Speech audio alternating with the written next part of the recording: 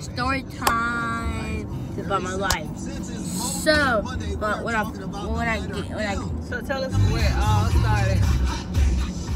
it started when I was On what day? on January 30th, 2009. So I I came out my mom's stomach.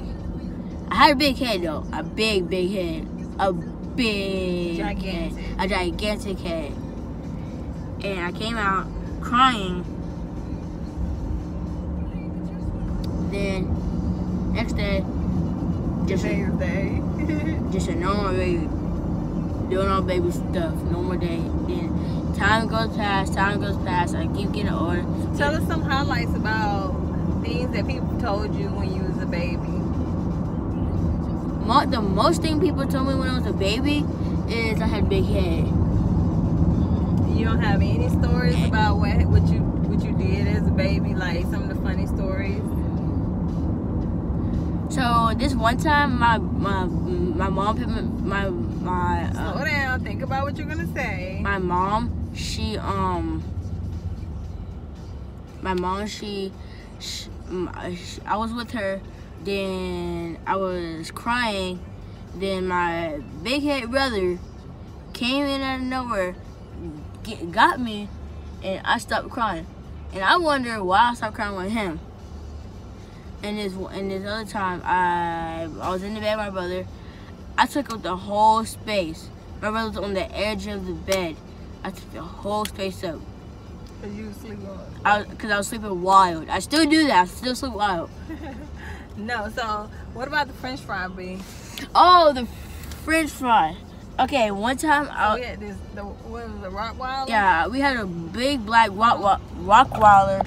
Then um then I was eating a French fry. But you like eating them slow or something. Yeah, I was eating my French fries slow or something. Then I then my dog my dog my dog ate ate my fry. I slapped the heck out of my dog.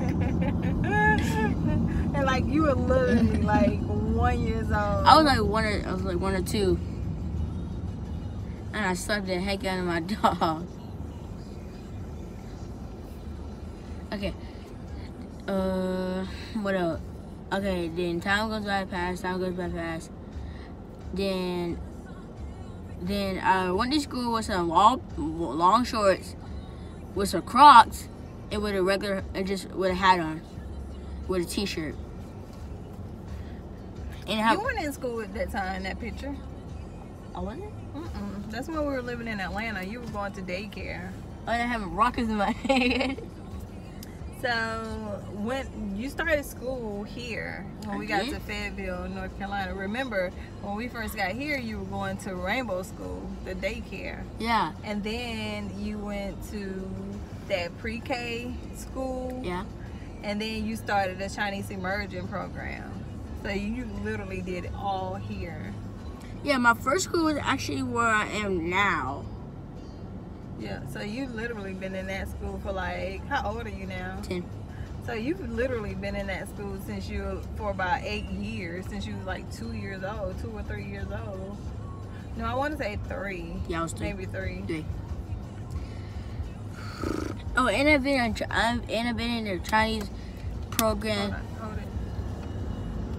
I've, I was in the Chinese program So which, for what language did you learn? Chinese. I was learning Chinese. Mandarin. I was in Mandarin Chinese. I was in the Chinese program for at least three. I was in Chinese program for three and a half years because I didn't know English that good. I still don't know English that good, so I didn't know English that good. So I had to. It's not that you didn't know English. It's just you can't read. Yeah, I can read good. I can't read good. English, Yeah, but you can read Mandarin though. yeah, I can read Mandarin, but I can't just read English.